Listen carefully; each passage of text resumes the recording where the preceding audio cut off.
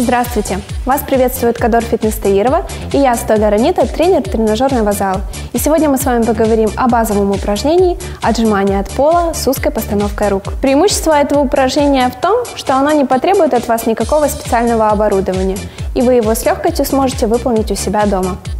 Исходное положение. Принимаем упор лежа, ладони фиксируем максимально узко, уже ширины плеч.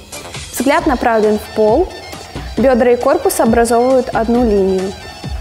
Опускаемся вниз, делаем вдох и на выдохе встаем.